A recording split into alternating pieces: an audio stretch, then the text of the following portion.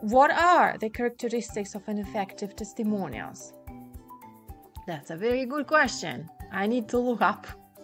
An effective. Uh, that, that, that, that.